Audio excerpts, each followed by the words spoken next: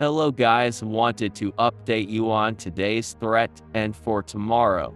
The marginal risk that was in the northern plains is no longer there.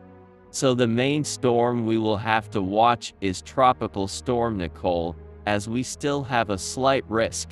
Tomorrow, we also have a slight risk for the east coast as we have a 5% tornado, wind, and hail threat. More on it tomorrow. And we also have snow that's going to try to make its way into the central US. But so much can change from now and then.